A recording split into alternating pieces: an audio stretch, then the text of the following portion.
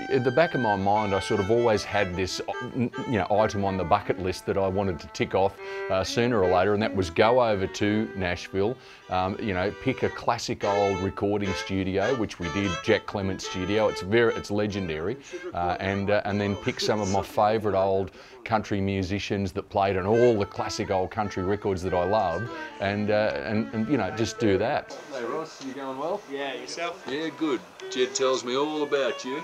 Lies No? and rumours. All lies, yeah. no, he said it's a miracle you're out of jail. Uh, yeah, exactly, I know. It just came up that now was the right time, and I thought, well, it's now or never. If I don't do it now, who knows, I might not get the chance to do it in a few years' time. Well, here we are in downtown Nashville. This is Broadway. I guess it's sort of the heart of the uh, country music capital here. And, um, you know, when you walk around the street here and, and look at some of these venues, uh, behind me is Ernest Tubbs record shop. Across the road is Tootsie's, and uh, so many famous uh, country music uh, venues. And when you start and think about all those hit country songs that were written in some of these bars along this street, it, uh, I don't know, it makes you get very inspired.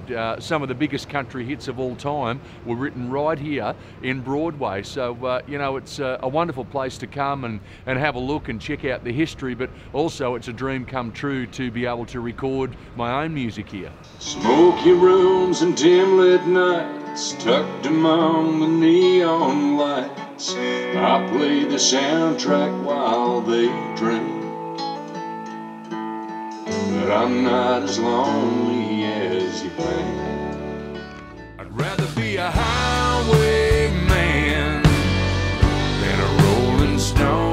It's, moments like this that make you realise how lucky I, I really am. Uh, and uh, at the end of the day, though, you know, you guys are my boss, so I just hope you think that the uh, the songs that we churn out here are, are worthy.